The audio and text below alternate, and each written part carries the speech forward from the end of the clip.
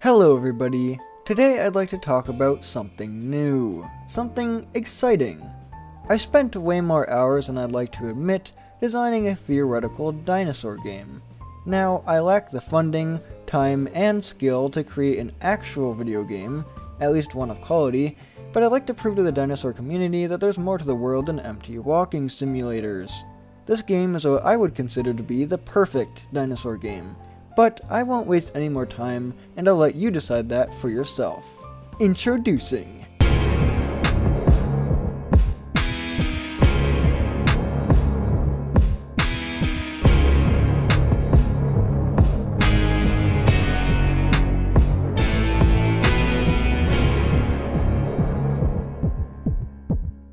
Terrible Lizards is a death match that takes place in a carnivore's territory.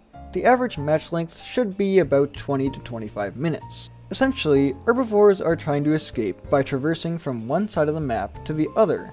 They have to cross rivers, destroy barriers, break down logs and branches to continue on their path, and eat and drink to maintain the instinct meter that's used to sprint and use special abilities. For matchmaking, there are 8 slots total for carnivore players, and for herbivore players. For carnivores, 4 slots are taken up by a large dinosaur, 2 by a medium, and 1 by a small. This means that you could have any variation of teams to work with as carnivore players, or fight as with herbivore players. You could have 2 large carnivores, 4 mediums, 8 smalls, or any variation of all of these. Herbies are straightforward and all fill 2 slots each, which means you will always have 4 herbivores of equivalent strength despite that strength varying in many ways. This means that you may outnumber the carnivores with the downside of them being stronger than you, face an equal number of similar strength carnivores, or be swarmed by a massive pack of tiny dinosaurs. Of course, because you could have any random variation, each game will be unique, having one massive bone-crushing dinosaur, one medium-strength brawler, and four pint-sized devils to fight against or team up with would make each game exciting and test your skills in each situation. Maps contain two outer forests on either side of an inner land area, and this can be forests as well, or rock formations or anything else that I can come up with. The map will always have at least one central river flowing down its entirety. This is important for some playables on both the carnivore and herbivore side. If herbies enter the outer forest, they will be highlighted for all carnivores and will have their instinct meter quickly drained. Carnivores have an instinct meter that is replenished by hunting AI that spawns in the outer forest. The inner forest contains the obstacles for herbivores to destroy. Carnivores can circumvent these by traveling through the outer forest unaffected. Essentially, the carnivores own the outer forest, so they can more easily traverse the land and fight in different areas depending on how far along the herbivores are in their quest to escape. Now, there are a few things that I need to talk about before I continue. One is bleed. Some abilities do various amounts of bleed, which drains instinct and can be healed by completing a medium length animation in a water source. Bone Break is a little different. It will disable weaponry if it exists on the appendage affected, and will slow movement if the appendage is needed for walking. So essentially, if you have a Therizinosaurus, and its arm gets bone broken, you can no longer use that arm for slashing. Herbivores and carnivores will heal over time, but in a moment I'll show you why the carnivores are less affected. This is also why only large tier carnivores will have Bone Break to make it more balanced. New players will start out with 3 herbivores to choose from and 3 small tier carnivores, so new players aren't punished for being bad since they respawn quickly and can play with way more friends than small tiers. Carnivores and herbivores can roar. Carnies can use it to signal they've found herbies, and herbies because it's fun and I wouldn't take that away from them. Here are the win conditions. For herbivores, they must escape the territorial boundaries. It's really that simple. They do this by clearing certain obstacles around the map. They will be fun minigames though, not boring objectives, like Path of Titans collecting acorns. Carnivores, once downed, will be able to slowly retreat to the outer forest, where they will be able to function properly once more. This means that they will heal any injury they had. Then, depending on their size, they must hunt a certain number of AI to be able to return to the inner forest in a healthy state. They do this through scent trails.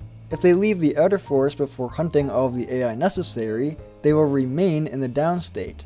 But herbivores cannot respawn, and must use the resources they have to heal wounds and require teamwork to nurture wounded allies and protect them from further punishment. This may not seem fair, but remember, the herbivores just have to reach the exit, and any one of them, in any condition, can win the game for all of the herbivores. For the carnivores, all they have to do is attack and down the herbies. Herbivores are more resilient than the carnivores and have a constant health state with two down states within it. Essentially, what this means is the down state will make the herbivore useless, but it can crawl around slowly to reach teammates. One large carnivore, two medium carnivores, or four small carnivores can stand on top of them and stop them from moving entirely.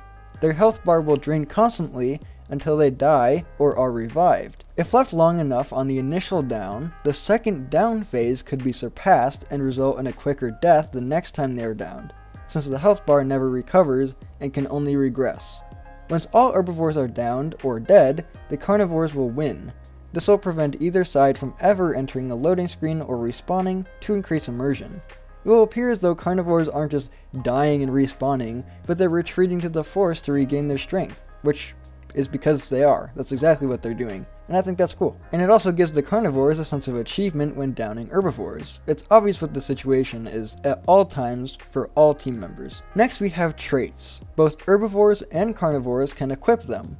This might be an increase to speed, health, stamina, etc. Modifiers will be equal in strength despite differing buffs, and are unlockable to everyone in the game, for every dinosaur. But the carnivores also get a hazard.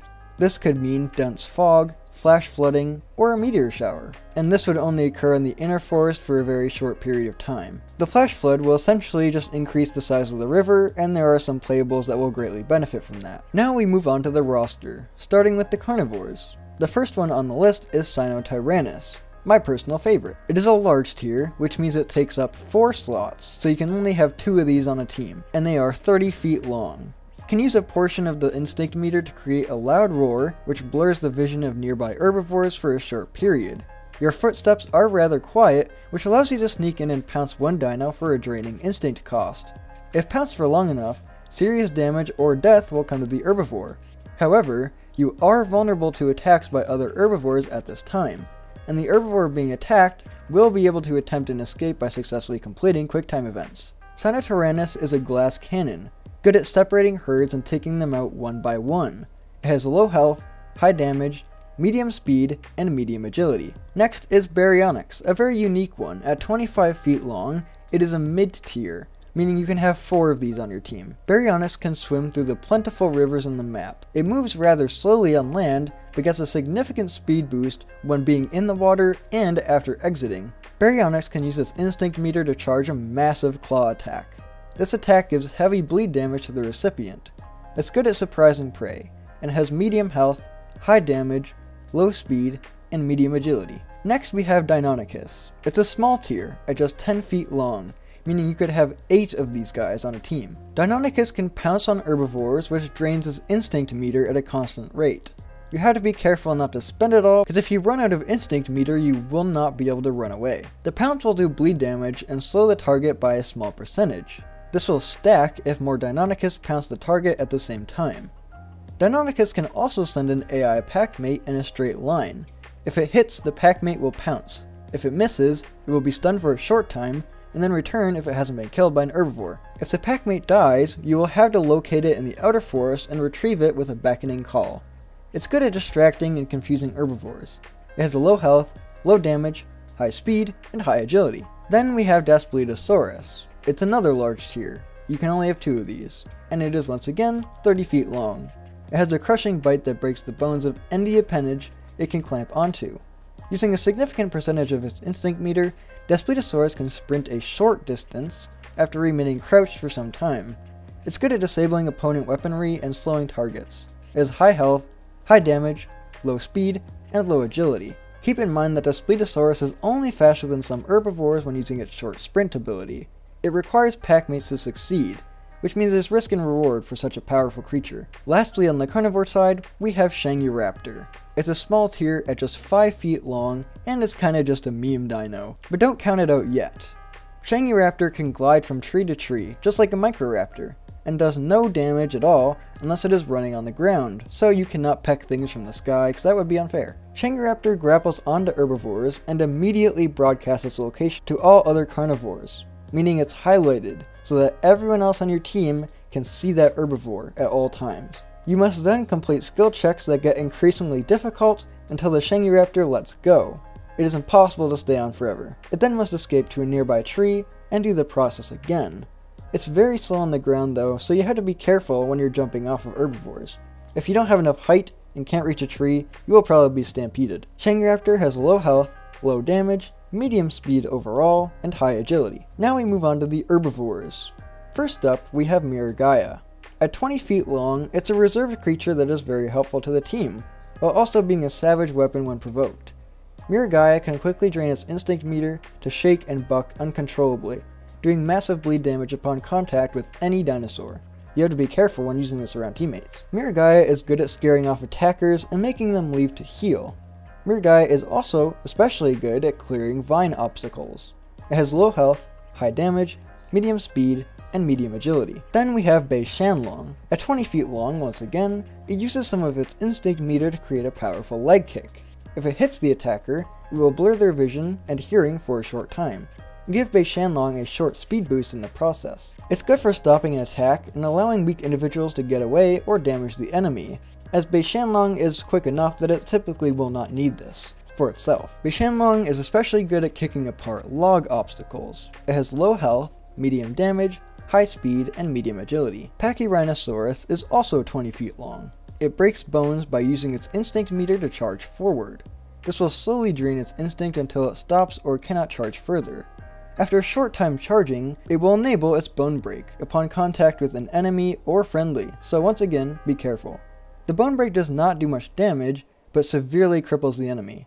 It's very good at log bashing objectives. It's high health, low damage, medium speed, and medium agility. Next we have Amargasaurus.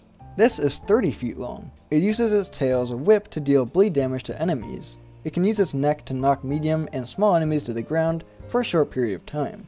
It's very good at clearing rubble obstacles as well. Amargasaurus has high health, medium damage, medium speed, and low agility. I especially think that it's fair that Amargasaurus is so big and strong because low agility is quite detrimental in a game like this. The last herbivore I came up with was a Rhinoceros, but I don't want to give you my opinion on this. I want you to decide in the comments what you think this dinosaur would be best at and what its abilities would be. Next up, we have the maps to talk about. I thought it would be interesting if we used famous fossil formations as the maps. For example, there could be Hell Creek, a forested map with a single winding river running down the middle, or Dinosaur Ridge, a dry canyon with the river flowing down the middle once again, with trees to either side. And let me know if you can think of any other ones that would be cool. I really think that this game has exactly what the Isle, Beasts of Bermuda, and Path of Titan players want. Without the negatives of having to grow, take forever to find people in such a desolate world, and deal with dire consequences for making one minute error. You can stalk prey as carnivores, hunt AI using scent, and battle herbivores with fun abilities that are unique to your dinosaur. And herbivores can have that herd they always wanted, use cool abilities to defend themselves, and explore the world that's offered to them. I'm honestly hyped for a game I'll never be able to play. Now I'm sad. In terms of funding, there will not be a single playable locked behind a paywall. Everything will be earnable in-game, except for certain skins, patterns, and feature customization. None of which would affect gameplay at all, but would hopefully provide the cash flow needed for game improvements, maintenance, and updates. Anyways, I hope you guys liked this one. Let me know if you think this is a solid idea, or yet another reason that I should never cook again. Thank you so much for watching, especially if you made it all the way to the end, I'm super grateful for you guys, and as always, have a good day bro.